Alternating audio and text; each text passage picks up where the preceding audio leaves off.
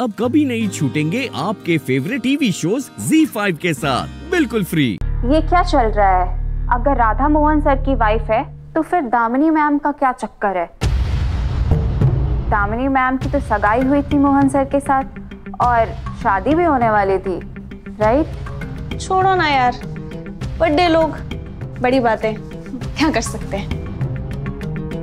वैसे मोहन सर तो स्टड निकले हमारे पास एक भी नहीं है। और वो दो दो घुमा रहे हैं।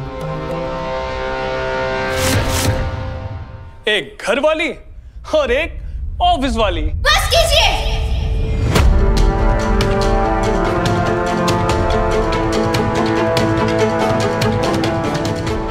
किसी का सच जाने बगैर उनके बारे में इतनी घटिया बातें करते हो, आप तुमको शर्म नहीं आती?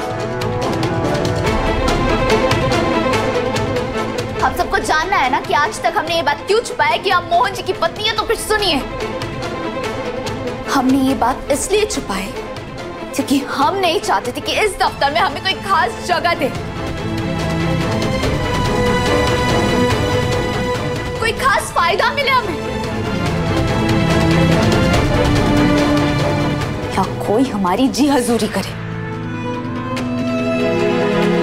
हम अपने दम पर आप सबके बीच में अपनी जगह बनाना चाहते थे, ना कि मालिक की पत्नी के रूप में। पर इतनी सी बात आप सबको कैसे समझ में आएगी?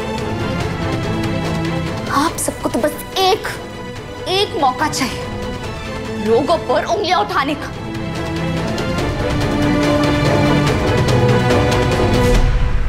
पर एक बात ना आप सब ध्यान से सुन लीजिए।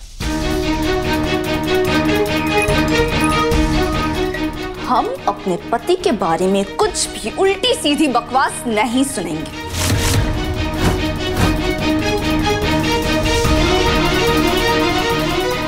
हमारे पति हमारा अभिमान है।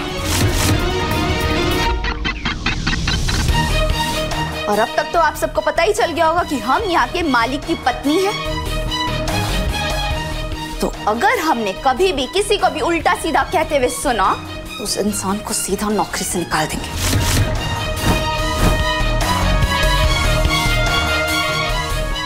और अब क्योंकि हम मालिक की पत्नी है तो इतना तो हम कर ही सकते हैं और हमें इसमें कोई रोक नहीं सकता।